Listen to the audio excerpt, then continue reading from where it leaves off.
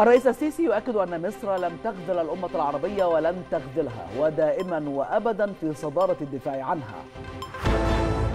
حملات شعبية للتبرع بالدم تعبيرا عن التضامن المصري مع الأشقاء الفلسطينيين. رئيس الوزراء الفلسطيني يشيد بتحذيرات الرئيس السيسي من خطورة تهجير الفلسطينيين. السادسة مساء بتوقيت القاهرة الثالثة بتوقيت جرينتش نشرة إخبارية تأتيكم من التلفزيون المصري أهلا بكم.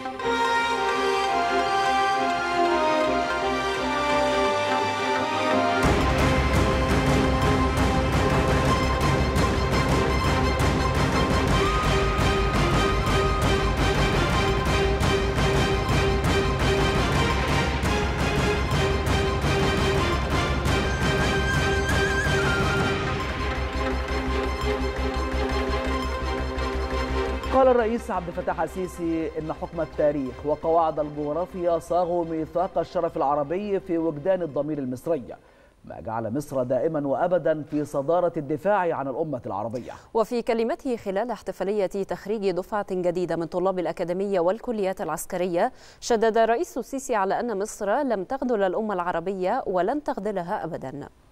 شعب مصر العظيم وجه حديثي إليكم وإلى كل شعوب الأرض بكلمات واضحة وعبارات لا تحتمل تاويلا. إن حكم التاريخ وقواعد الجغرافيا قد صاغوا ميثاق الشرف العربي في وجدان الضمير المصري ما جعل مصر دائما وابدا في صدارة الدفاع عن الأمة العربية. مقدمة الدماء والتضحيات. باذلة كل ما تملك من أجل الحق العربي المشروع. حين كانت الحرب فكنا مقاتلين وكان السلام فكنا له مبادرين.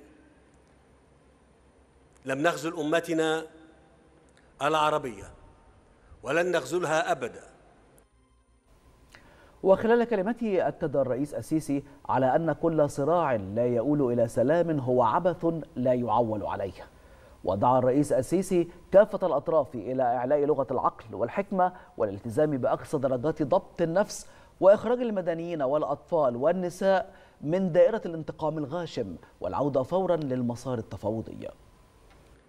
وإدراكا مني ويقينا بأن كل صراع لا يؤول إلى السلام هو عبث لا يعول عليه. فإنني أدعو كافة الأطراف إلى إعلاء لغة العقل والحكمة والالتزام بأقصى درجات ضبط النفس وإخراج المدنيين والأطفال والنساء من دائرة الانتقام الغاشم والعودة فورا للمسار التفاوضي. تجنبا لحرائق تجنبا لحرائق ستشتعل فلن تترك قاسيا أو دانيا إلا وأحرقته. مع استعداد مصر أن تسخر كل قدراتها وجهودها للوساطة وبالتنسيق مع كافة الأطراف الدولية والإقليمية الفاعلة دون قيد أو شرط. أكد الرئيس عبد الفتاح السيسي سعي مصر للسلام واعتبره خيارها الاستراتيجي الذي يحتم عليها ألا تترك الأشقاء في فلسطين الغالية.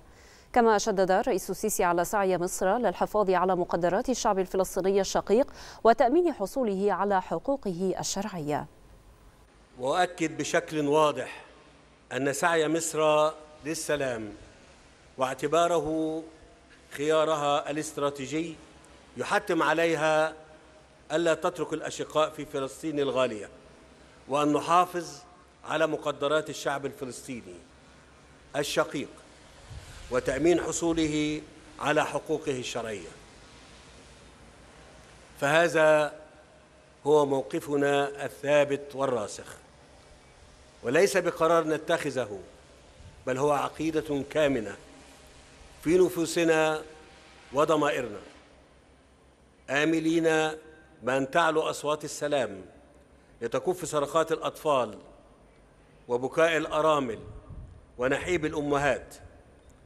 ولن يتأتى ذلك إلا بتوفير أقصى حماية للمدنيين من الجانبين فورا.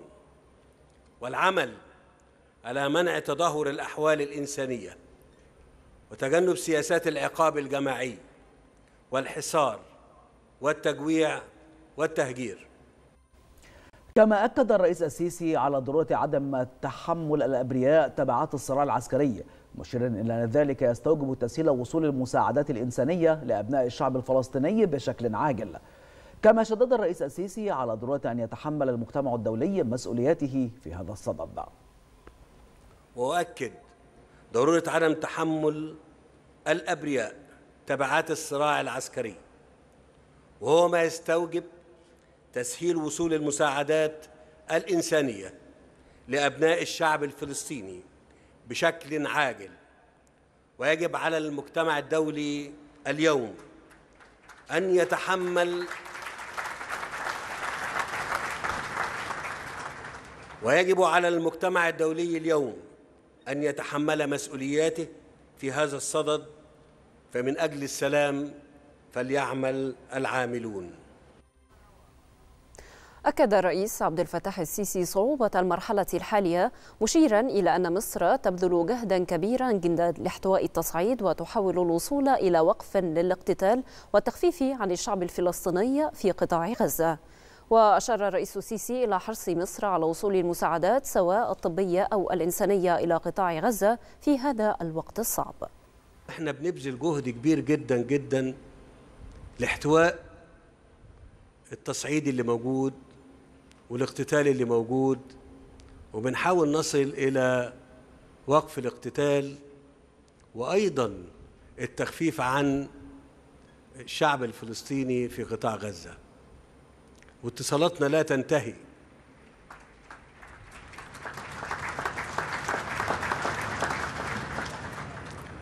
إحنا بنكلم الجميع القادة والمسؤولين وهم كمان بيكلمونا. الكل مهتم. وإحنا حريصين على ان إحنا المساعدات سواء كانت طبية أو انسانية في الوقت الصعب ده تصل إلى القطاع.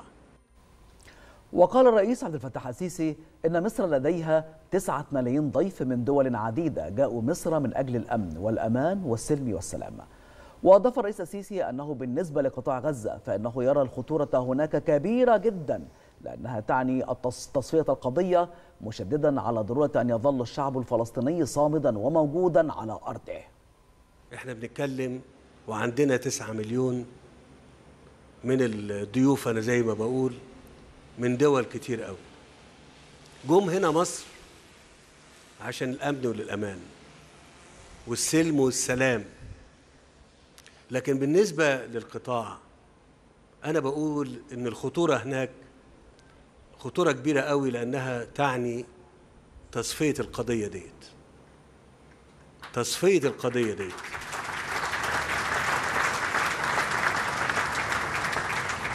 فمهم قوي إن إحنا نبقى منتبهين لده. أنا قلت الأول الرقم والناس اللي موجودة واللي إحنا استقبلناهم. عندما كان الأمر يتعلق بمشاكل يعني أمنية في بلاد هذه هؤلاء الضيوف يعني. إنما الأمر هناك مختلف. القضية دي قضية قضية القضايا وقضية العرب كلها ومهم إن شعبها يفضل صامد ومتواجد على أرضه.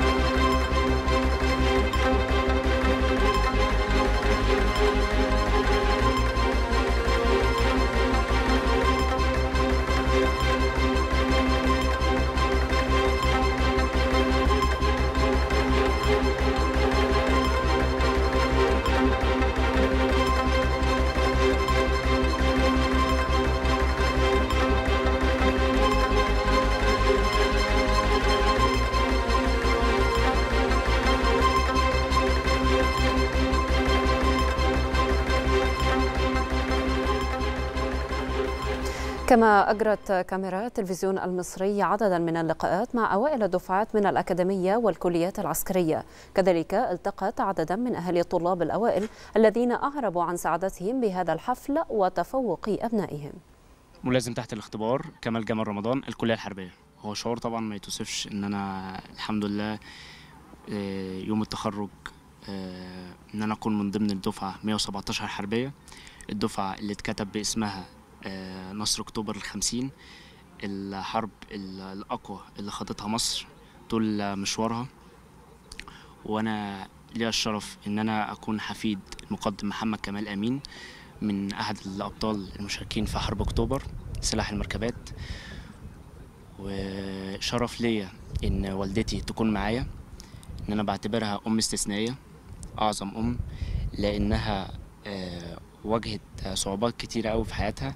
من ضمنها الحياة العسكرية مش ليا بس كان لجدي وهي في فترة صغيرة في حياتها متربية على العسكرية. وحتى والدي كان برضو فترة من فترات كانت صعبة وقدرت إنها تجتاز ده من بعده وتربينا أنا وإخواتي. نعم محمد كمال كبيرة أخصائيين بوزارة الشباب. أنا والدة كمال جمال رمضان. فخورة النهاردة بأن هو بيتخرج وده أصغر أبنائي وأنا سعيدة أن أنا موجودة النهاردة في عرين الأبطال في الكلية الحربية في مصنع الرجال وأنا شعرة بالفخر وشعرة بالحب وشعرة بالانتماء لأن المؤسسة العسكرية دي أنا اتربيت عليها على على الالتزام وعلى القواعد. أنا والدي من أبطال حرب أكتوبر وحارب في 73 وكان من من ضمن الناس اللي كانوا في الدلفسوار في الثغرة وجانا بعد الحرب بخمس شهور الحمد لله. إن أنا شرفت بإن أنا أكون الابنة الصغرى لوالدي. والنهاردة وأنا أكثر سعادة وبدعي ربنا كنت بتمنى من ربنا إن أعيش لغاية اليوم ده إن أنا أفرح وأكون فخورة بتخرج ابني كمال الصغير من الكلية الحربية من مصنع الرجال. وأنا مش سعادتي لا توصف لاني أهم حاجة أنا صنعتها وربيتها وعلمتها لولادي. يعني إيه عقيدة؟ يعني إيه وطن؟ يعني إيه جدر؟ الوطن هو الجدر هو العقيدة هو الانتماء هو الحب. للبلد ونضحي يضحوا يضحوا. أنا ابني الكبير كان بيستشيرني في أدق أشياء مؤلمة. قلت له اعمل الصح علشان ربنا هيأجرك على الصح. بس وأنا فخورة النهارده إن أنا بينكم وسعيدة إن أنا يعني ساعتي لا توصف بصراحة. ملازم تحت الاختبار عبد الرحمن طارق عبد العزيز. شعور بالفخر طبعا الانتماء لصفوف القوات المسلحة فخر لأي شاب بداية من التحاؤه أو إعداده لنفسه من بعد اختبارات الثانوية العامة إن هو يلتحق بكليات عسكرية. آه، فخر لأي حد طبعا يكون واقف في المكان اللي أنا واقف فيه دلوقتي. ونبقى مع تعاطي مصر مع تطورات الحاصلة في قطاع غزة حيث تواصلت حملات التبرع بالدم بمحافظات الجمهورية كافة لصالح الشعب الفلسطيني وذلك تنفيذا لتوجيهات الرئيس عبد الفتاح السيسي بتقديم الدعم الفوري والإغاثة الإنسانية لدولة فلسطين الشقيقة. وتحت شعار كتفنا في كتف أهلينا في فلسطين وتحت مظلة التحالف الوطني للعمل الأهلي التنموي أعلنت مؤسسة حياة كريمة مشاركتها في الحملة الشعبية من أجل التبرع بالدم لأشقائنا في الأراضي الفلسطينية. وذلك ضمن حملة شعبية موسعة انطلقت اليوم بعد صلاة الجمعة مباشرة في كافة محافظات الجمهورية. ويأتي ذلك أيضا بالتزامن مع إرسال التحالف قافلة شاملة محملة بكميات ضخمة من المساعدات الإنسانية والمواد الغذائية والعلاجية وتضم هذه القافلة أطباء من جميع التخصصات وأدوية وأجهزة طبية.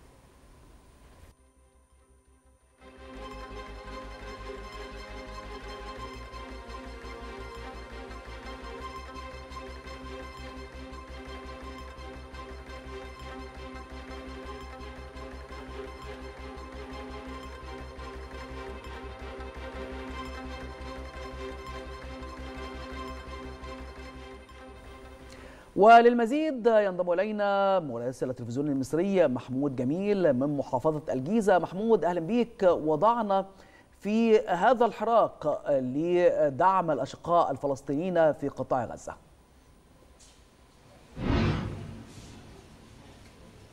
أهلا بك محمد وبكل السادة المشاهدين. كما تحدثت هو حراك كبير وتجمع كبير من المواطنين من مختلف المحافظات خاصة هنا في محافظة الجيزة للتعبير عن كامل الدعم والمساندة للأشقاء الفلسطينيين من خلال مشاركتهم في أكبر حملة أطلقت للتبرع بالدم. هذه الحملة التي أطلقها التحالف الوطني للعمل الأهلي التنموي منذ يعني ظهر اليوم ونحن تواجدنا في الأماكن المختلفة التي تستقبل المواطنين في محافظة الجيزة. نتحدث عن هذا المكان الذي نتواجد فيه في جمعية رسالة إحدى المؤسسات التابعة للتحالف الوطني للعمل الأهلي والتنموي والتي استقبلت عدد كبير من المواطنين الذين جاءوا للتبرع بدمائهم تعبيرا عن تأييدهم ودعمهم الكامل للشعب الفلسطيني ولدعم القضية الفلسطينية. منذ أن استقبلت هذه الجمعية المواطنين جمعت ما يقرب حتى الآن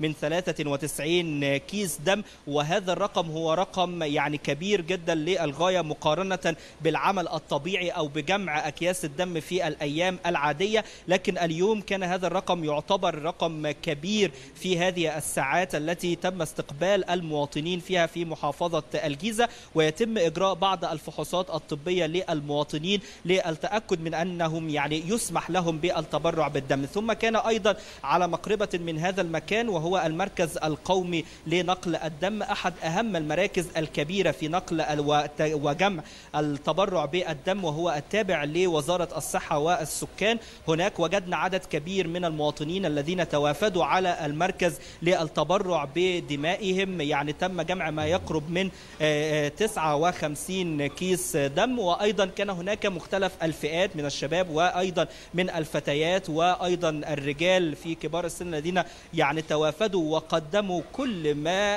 يتم دعمه وتقديمه من أكياس دم للشعب الفلسطيني. أيضا كان هناك بعض القيادات نتحدث عن كانت هناك الحملة الرسمية للمرشح الرئاسي السيد عبد الفتاح السيسي بحضور المستشار محمود فوزي رئيس الحملة والذي أكد على الموقف الثابت للحملة وفي دعم القضية الفلسطينية وفي دعم الأشقاء الفلسطينيين ووجه دعوة إلى كل المواطنين القادرين على التبرع بالدم في النزول في كل المحافظات للتبرع بدمائهم. أيضا كانت تتواجد مؤسسة أبو العينين ومؤسسة أيضا حياة كريمة التي أعلنت أنها تشارك في هذه الحملة التي أعلن عنها التحالف الوطني للعمل الأهلي والتنموي في كل المحافظات اليوم والتي أعربت أيضا عن أسفها الشديد تجاه الأحداث التي تتم في غزة وأيضا أكدت أن يعني كل المتطوعين فيها يشاركون في هذه الحملة بالإضافة إلى توجيه نداء ودعوة لكل المواطنين المصريين بالمشاركة في هذه الحملة وأكدت أيضا أنه يتم تجهيز يعني قافلة إنسانية وغذائية وطبية كبيرة بها عدد من المواد الغذائية وبها عدد من الأدوات الطبية أيضا والأطباء من مختلف. التخصصات للمشاركة والدعم وتقديم كل الدعم والمساندة للأشقاء محمود يعني سنتحدث بالتفصيل أكثر على هذه القافلة ولكن صورة كبيرة تعبر عن كل الدعم والحب للشعب الفلسطيني. تسمعني محمود تسمعني؟ محمود يعني سنتحدث أكثر تفصيلا عن هذه القافلة ولكن نعم حملة التبرع بالدم هل فقط اليوم ولا ستستمر لأكثر من يوم؟ يعني هذه هي مرحلة أولى ستكون اليوم ستنتهي في الثامنة مساء. ويعني ربما يتم الإعلان عن حملات أخرى أو عن استكمال هذه الحملات في أيام أخرى. لكن اليوم يعني ستستمر هذه الحملات حتى الثامنة من مساء اليوم في كل المحافظات التي يعني تم الإعلان فيها عن هذه الحملة. وبالتأكيد سيكون هناك مراحل أخرى سواء متعلقة بالتبرع بالدم أو حتى بعض بعض القوافل الإنسانية الأخرى التي سيتم تجهيزها لمساعدة الشعب الفلسطيني. وهنا مستمرون في تلقي كل المتبرعين بالدم. يعني أنا أرى من خلفي هناك أيضا من أمامي عدد من المواطنين الذين لا زالوا يتوافدون على هذا المكان للتبرع بالدم. ويعني متوقع أن يكون هناك عدد أكبر أيضا خلال يعني على الأقل الساعتين القادمتين. أشكرك جزيل الشكر آه، زميل محمود جميل مراسل التلفزيون المصري. كنت معنا من محافظة الجيزة. حملات التبرع بالدم انتشرت بعدد كبير من محافظات الجمهورية.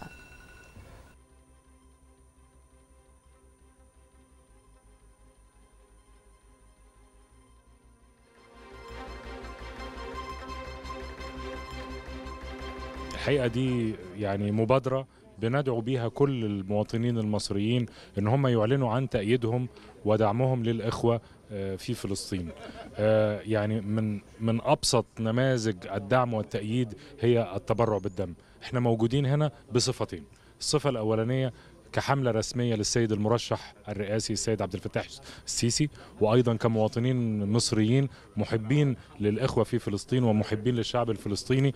إحنا واجبنا ناحية الفلسطينيين واجب إنساني وواجب عربي وواجب قومي وواجب مصري لأن فلسطين جزء من أمننا القومي المصري. فإحنا بندعمهم وبنشجع كل إخواتنا وأسرنا للتبرع بالدم للتعبير عن التضامن الأكيد والصلب من الشعب المصري للشعب الفلسطيني. ودايما التنسيقية بتكون موجودة في كل ال ال ال يعني الأحداث اللي بتمس حتى الوطن العربي مش بس مصر ويمكن خلال الفترة الأخيرة شفنا يعني ما حدث يعني في الدولة الشقيقه فلسطين وشفت الشعب المصري يعني أجمع كان متفاعل إزاي معاه وكلنا كنا يعني عارف لو لو طولنا إن إحنا نديلهم حتة مننا كنا هنعمل ده.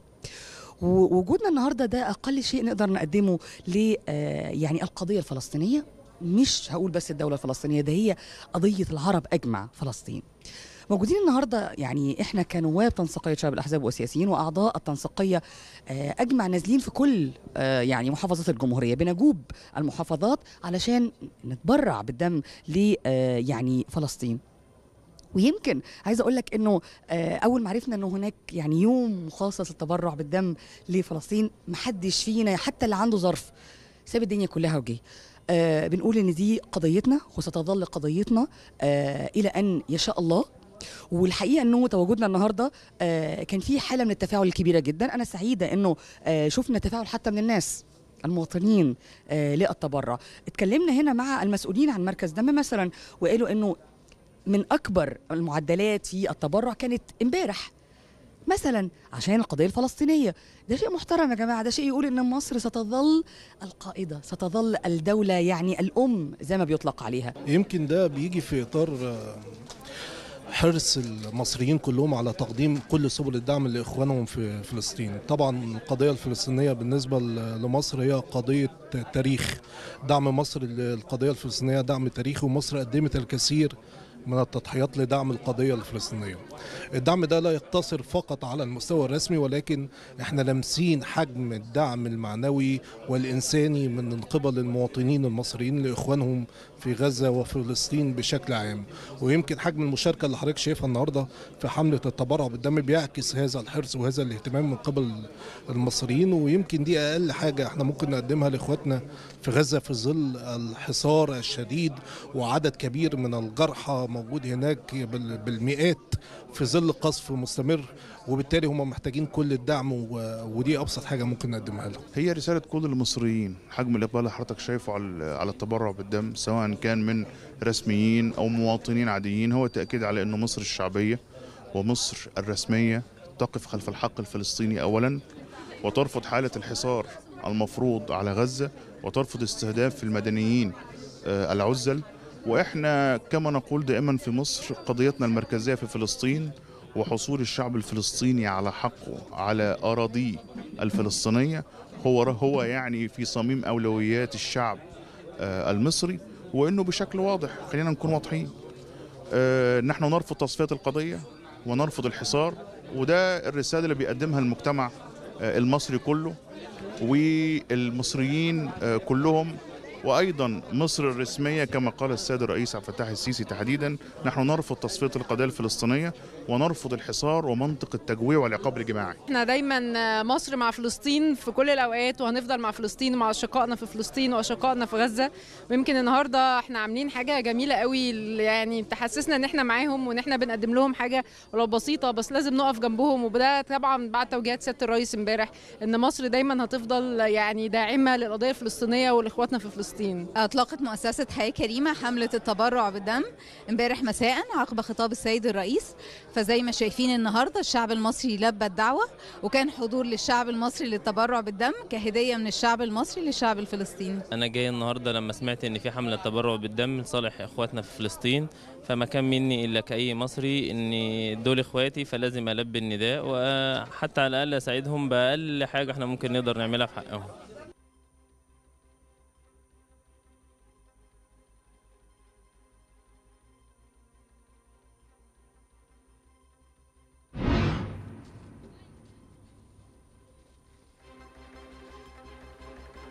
رساله تضامن مباشره للشعب الفلسطيني ويعني مساندته ومؤازرته في صموده ودفاعه عن قضيته. التبرع بالدم رسالة قوية جدا. المصريين يتبرعوا بدمائهم من أجل أشقائهم الفلسطينيين. ما فيش شك إن دي حملة مهمة جدا لنصرة الشعب الفلسطيني. ده أقل شيء نقدمه ليه القضية الفلسطينية في ظل الأحداث اللي إحنا شايفينها. أنا بسمن طبعا دعوة التحالف الوطني للعمل الأهلي آه، لحملة التبرع بالدم. وبدعو من خلال حضراتكم يعني كل الشعب المصري والمجتمع المصري إن هو يبادر ده أقل شيء إحنا نقدر نقدمه للقضية الفلسطينية ونصره للقضيه الفلسطينية إن إحنا نتبرع بالدم ومفيش شك إن أيضا ده يأتي استجابة لحديث السيد الرئيس عبد الفتاح السيسي بأن القضية الفلسطينية في قلب كل مصري وإحنا النهارده عندنا حملة تبرع بالدم كبيرة في جميع فروع رساله آه، الإقبال كبير جدا على الحملة النهارده ويا ريت منتظرين أكتر منكم تشاركونا. آه، ل- للحملة طبعا في جميع فروع رساله فاحنا شغالين وإن شاء الله شغالين لآخر اليوم. الحملة دي بتقوم في أكثر من 13 فرع من فروع جمعية رسالة تحت منظمة التحالف الوطني للعمل الأهلي التنموي. آه، بيقوم آه، بالتبرع من آيات من المتطوعين في على مستوى جميع الفروع بتاعت رسالة. آه، التحالف الوطني ادانا الفرصة إن إحنا نقدر نظهر بالشكل اللائق لأهالينا في فلسطين إن إحنا نقدر نساعدهم. ولو بحاجة بسيطة جدا وهو دم أي أي مصري هو دم أي فلسطيني إحنا كلنا شعب واحد. أنا النهارده قررت أنزل عشان أساعد إخواتنا الفلسطينيين. تبرع بالدم ودي أقل حاجة ممكن أعملها. فإن شاء الله إن هم إن إحنا نوفر الكمية الكافية إن إحنا نساعدهم بيها. قررت النهارده أجي أتبرع بالدم لاهالي غزة عشان في يعني هم محتاجين مساعدة من ناس كتير وكده فأنا حبيت إن أنا أشارك بمساعدتي دي للناس اللي هي التانية الموجودة هناك. يعني أحاول أقدم أي حاجة عشان هم محتاجين مساعدة من كل جهة.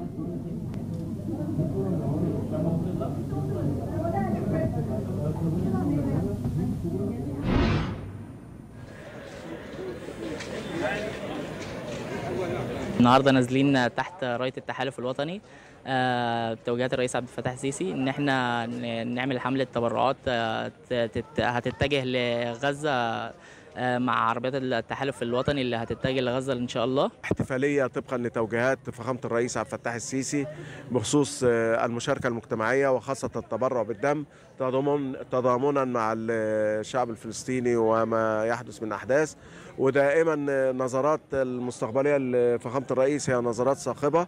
وله تعاطف كبير جدا بدليل النهارده كله أنكر نفسه نازل على تحت راية التحالف. الحملة دي آه، الهدف منها مساندة ومساعدة الشعب الفلسطيني الشقيق آه، في اجتياز آه، ال- المحنة الكبيرة اللي بيتعرض ليها. فإحنا النهاردة كشباب حياة كريمة بنشارك التحالف الوطني للعمل الأهلي والتنموي من خلال القافلة. إحنا بنشارك بالتبرع بالدم أيضا بتنظيم عملية التبرع بالدم.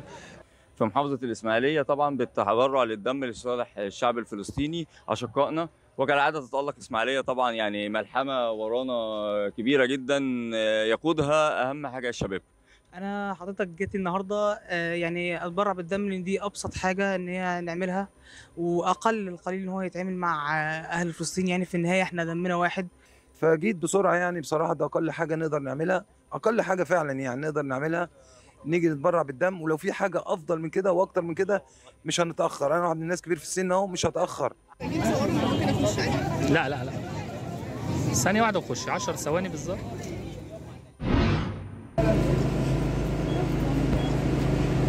إحنا نازلين ب 30 متطوع آه، في منطقتين بحيث نساعد إخواتنا في فلسطين اللي محتاجين في أشد الحاجة لقطر الدم أو نقطة الدم اللي إحنا نساعدهم بيها. فاحنا كان عندنا متطوعين متحمسين بيحاولوا بيساعدوا بكل الطرق بيحاولوا يشوفوا طريقة يساعدوا بيها فكان عندنا الحماس. في مجرد ما جت الفرصة اللي إحنا ننزل في شوارع أسيوط اللي إحنا نساعد بأي بأي حاجة. جينا النهارده عشان خاطر نتبرع بالدم لإخواتنا في فلسطين وعشان إحنا أصلا بنؤمن بالقضية الفلسطينية وبنحاول نساعد على قد ما نقدر فدورنا كشباب ودورنا كمؤسسه حياة كريمة بتوعينا إن إحنا لازم ننزل ونجيب أصحابنا ونبلغ المجموعات من الشباب الموجودة معانا سواء كانت في دراسة أو في جامعة أو في عمل. لما عرفت إن في تبرع بالدم لإخواتنا الفلسطينيين نزلت أنا ومراتي واولادي وبنتبرع. دلوقتي أنا اتبرعت ومراتي دلوقتي بتتبرع وأنا بناشد كل أهل أسيوط إنهم ينزلوا يتبرعوا بالدم لإخواتنا الفلسطينيين. نزلت أتبرع لإخواتنا في فلسطين ودي أقل حاجة نقدمها لهم. آه، وجوزي شجعني جدا وهو قال يلا نروح نتبرع. شهد جامع الأزهر الشريف وقفة تضامنية مع فلسطين عقب صلاة الجمعة وحمل المواطنون علم فلسطين مرددين عبارات تعبر عن تضامنهم مع الشعب الفلسطيني وأهالي غزة ضد ما يتعرضون له من عدوان إسرائيلي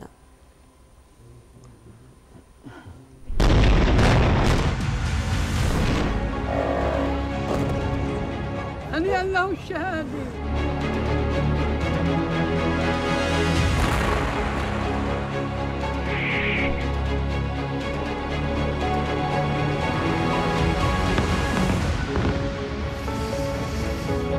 مفيش وصف لحجم الدمار اللي إحنا فيه. زهرة هي شايفة معها ورد مسجدها.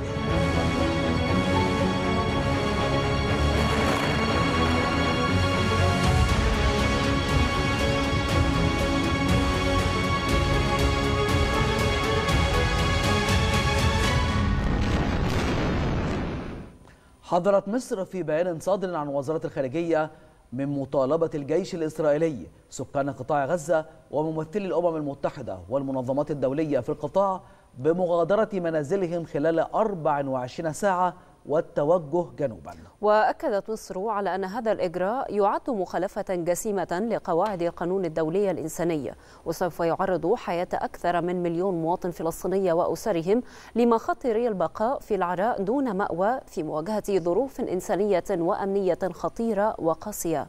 فضلا عن تكدس مئات الآلاف في مناطق غير مؤهلة لاستيعابها.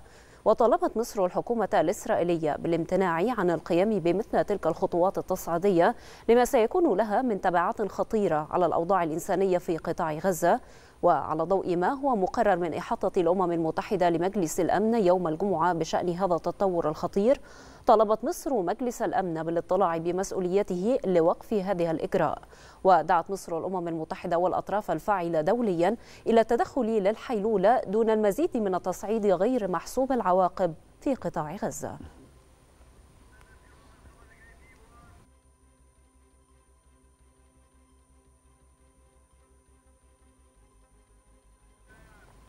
تلقى وزير الخارجية سامح شكري اتصالا هاتفيا من نظيره البريطاني جيمس كلافرلي لمتابعة التطورات التي يشهدها قطاع غزة والتصعيد الإسرائيلي الفلسطيني على جبهات متعددة. وأوضحت وزارة الخارجية أن محادثات الوزيرين ركزت على تناول كافة أبعاد ومخاطر التصعيد الإسرائيلي في قطاع غزة بما في ذلك دعوة المواطنين لترك منازلهم والانتقال إلى جنوب القطاع. حيث أكد شكري لنظيره البريطاني على ضرورة الوقف الفوري للقصف الإسرائيلي العنيف والتهديد بالهجوم البري كما أعرب شكري عن قلق مصر البالغ نتيجة تردي الأوضاع الإنسانية في قطاع غزة حيث جدد التأكيد على ضرورة توفير النفاذ الآمن والعاجل للمساعدات الإنسانية إلى أهالي قطاع غزة والنأي عن تعريضهم لسياسات العقاب الجماعي من حصار وتجويع أو تهجير. كما أكد شكري على مسؤولية مجلس الأمن والدول الفاعلة وذات التأثير على المسرح الدولي أن تبذل قاصار جهدها لوقف هذا التصعيد والدعوة إلى التهدئة.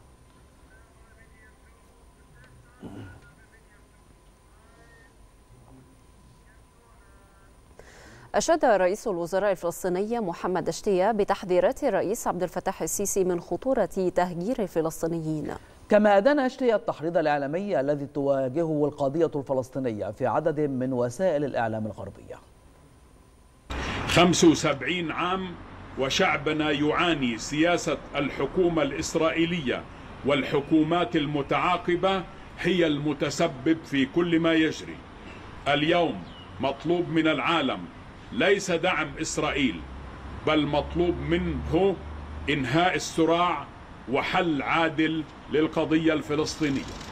هناك تحريض إعلامي على شعبنا ببعض وسائل الإعلام الأجنبية وتحريض من بعض المسؤولين الدوليين للإساءة لقضيتنا مما يشجع إسرائيل على التمادي بجرائمها. أدعو الإعلام إلى توضيح الصورة على حقيقتها وبث الجرائم التي ترتكب بحق شعبنا. إن المبالغة والكذب في الصورة الإعلامية منهم هي لتبرير المجازر التي ترتكب بحق شعبنا.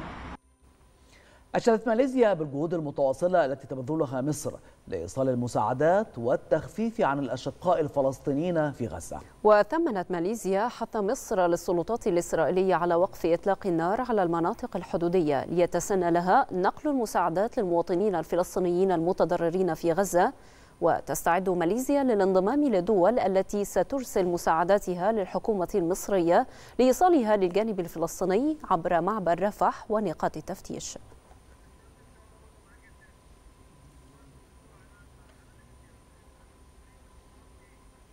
أكدت الأكاديمية الوطنية للتدريب تضامنها مع القضية الفلسطينية والشعب الفلسطيني الشقيق. وأعلنت الأكاديمية الوطنية للتدريب انطلاقا من مسؤوليتها المجتمعية إطلاق مبادرة للتبرع بالدم بداية من الأحد المقبل لكافة المعلمين بالأكاديمية وخريجيها.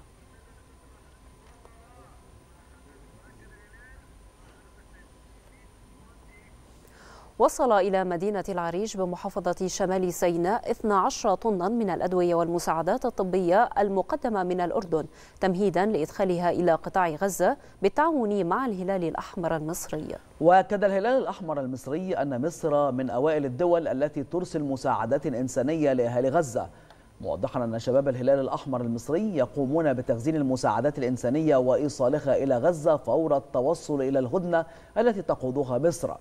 ويأتي ذلك في إطار الجهود الرسمية التي تقوم بها القيادة السياسية المصرية لاحتواء الموقف في غزة وإيصال المساعدات. هذا وتشهد مستشفيات المحافظة استعدادات متواصلة لاستقبال المصابين والجرحى الفلسطينيين جراء القصف الإسرائيلي على قطاع غزة. النهارده استلمنا أول شحنة من دولة الأردن الشقيقة في مطار العريش لدعم المصابين في غزة. وصلت المطار بالفعل. 12 طن 950 كرتونة مساعدات طبية.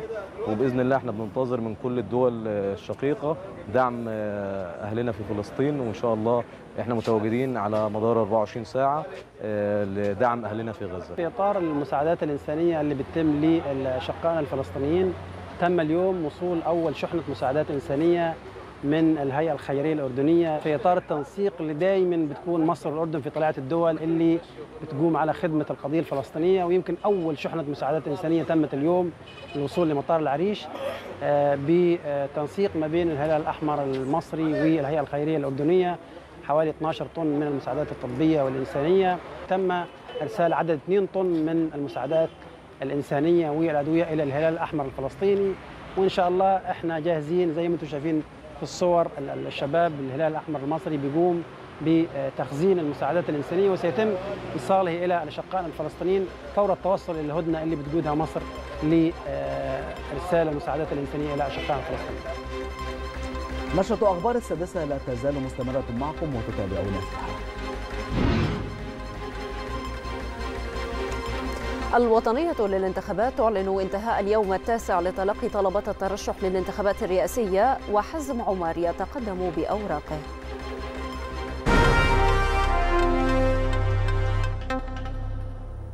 أعلن المستشار أحمد بن داري رئيس لجنة تلقي طلبات الترشح بالهيئة الوطنية للانتخابات انتهاء اليوم التاسع من الأيام المخصصة لتلقي طلبات الترشح للانتخابات الرئاسية. وأضاف المستشار بن داري أن رئيس حزب الشعب الجمهوري حازم عمر تقدم بأوراق ترشحه إلى الهيئة.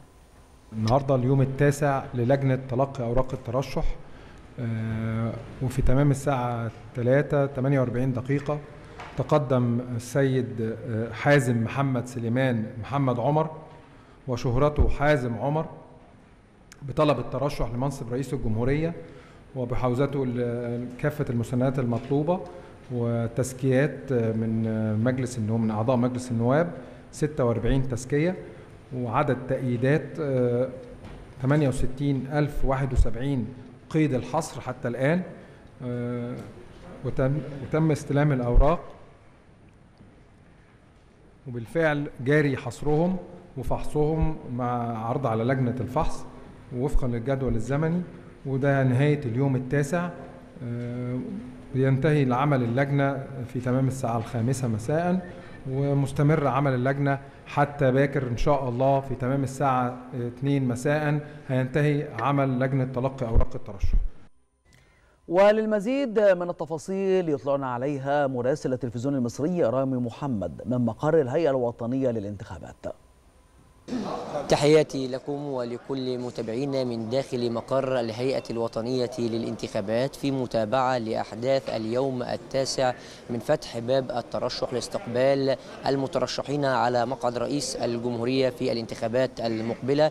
واستقبلت الهيئة اليوم المرشح الرئاسي المحتمل حازم عمر رئيس حزب الشعب الجمهوري بعد أن تخطى الكشف الطبي بعدد من المراكز المتخصصة بمستشفى العاصمة الإدارية الجديدة وبعد الإعلان عن حصوله لما يقرب من 46 تزكية من مجلس النواب من أعضاء مجلس النواب ليتقدم إلى هذه الانتخابات ويستوفي كافة الشروط ومن المعروف أيضا والذي ذكر خلال المؤتمر الصحفي للهيئة الوطنية للانتخابات أن غدا اليوم العاشر عند الثانية ظهرا يغلق باب الترشح للانتخابات الرئاسية المقبلة.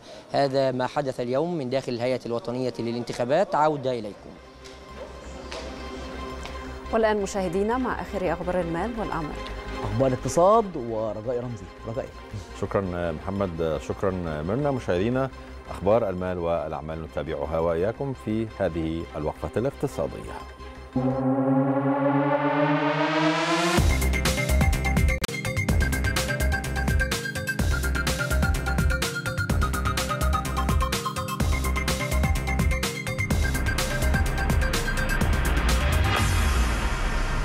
يبدأ اعتبارا من غد السبت. بدء تفعيل مبادرة خفض أسعار السلع الأساسية التي تم التوافق فيها ما بين الحكومة والقطاع الخاص حيث سيتم إعفاء تلك السلع من أي جمارك أو رسوم وذلك لمدة ستة أشهر. وأعلنت الحكومة عن تحديد سبع مجموعات سلع رئيسية ستبدأ في تخفيض أسعارها بنسب تتراوح من 15 إلى 25% سيكون موضحا كتابة الحد الأقصى لسعر السلعة على كل المنتجات. كما تم التوافق أيضا مع السلاسل التجارية على أن تكون هناك وفرة في عرض السلع المستهدفة في المبادرة وبدون هامش ربح.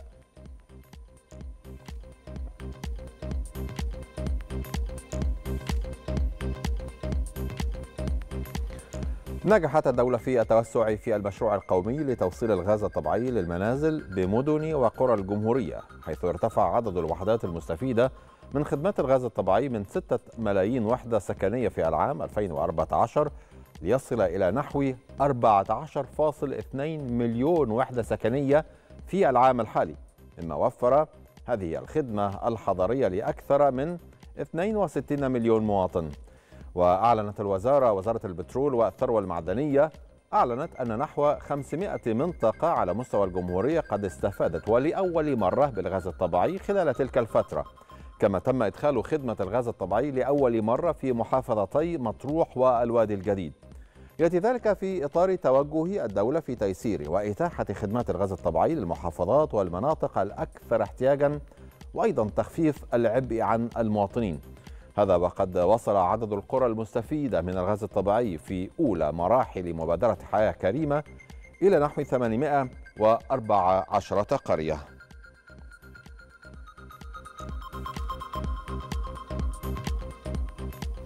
وإلى اسواق البترول العالميه حيث ارتفعت أسعار النفط دولارين اثنين بعد أن شددت الولايات المتحدة برنامج العقوبات على صادرات الخام الروسية ما أثار مخاوف بشأن الامدادات في سوق تشهد شحا بالفعل. ومن المتوقع أن تنخفض المخزونات العالمية خلال الربع الرابع من العام. ارتفع خام برنت بنسبة بلغت 2.28 في المئة مسجلة 87 دولار 96 سنتا للبرميل. فيما صعد خام غرب تكساس الوسيط الأمريكي بنسبة بلغت 2.39 في المئة مسجلا 84 دولار 89 سنتا للبرميل. فيما ارتفعت كذلك أسعار المازوت عالميا بنسبة بلغت 3.64 في المئة.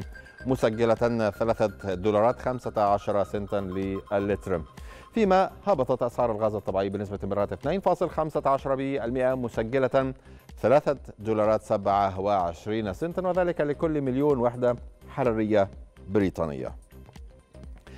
تراجعت بورصة الإمارات اقتفاء لأثر الأسهم العالمية في ظل اتساع نطاق الصراع ما بين الفلسطينيين والإسرائيليين مما أثار قلق المستثمرين.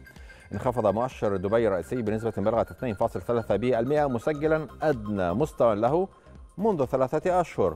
إذ تراجعت غالبية الأسهم على المؤشر كما انخفض المؤشر الرئيسي لبورصة أبو ظبي بنسبة بلغت 1.1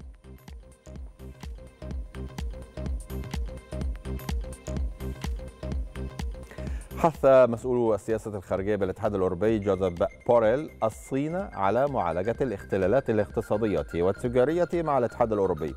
وخلال زيارة له إلى بكين حذر بوريل من تسارع الجهود التي تبذلها أوروبا لتقليل اعتمادها على الصين في حال عدم معالجة الصين لتلك الاختلالات. مؤكدا أنه من مصلحة الطرفين إيجاد أرضية مشتركة لمعالجة الخلل في العلاقات الاقتصادية والتجارية ما بين الجانبين.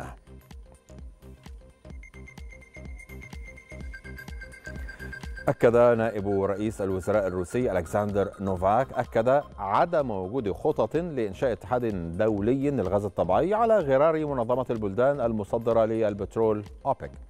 وأضاف نوفاك أن روسيا جزء من منتدى الدول المصدرة للغاز مشيرا إلى أن عمل المنتدى يتعلق في الغالب بتبادل وجهات النظر كانت روسيا قد خفضت إمداداتها من الغاز الطبيعي إلى أوروبا بنحو الثلثين وسط تداعيات سياسية بشأن الأزمة الروسية الأوكرانية.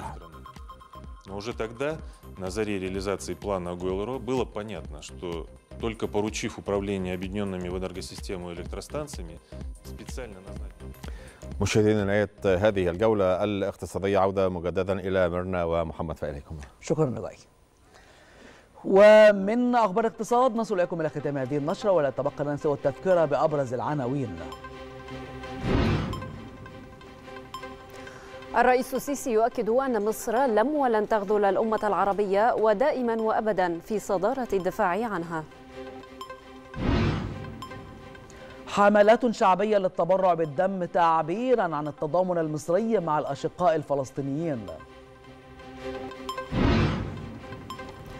رئيس الوزراء الفلسطيني يشيد بتحذيرات الرئيس السيسي من خطورة تهجير الفلسطينيين.